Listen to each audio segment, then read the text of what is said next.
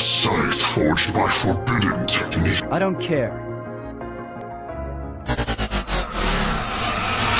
Are you prepared to battle me? Your life is over. Nothing personal. Dead! He died like a true Ferdinand von Aegir.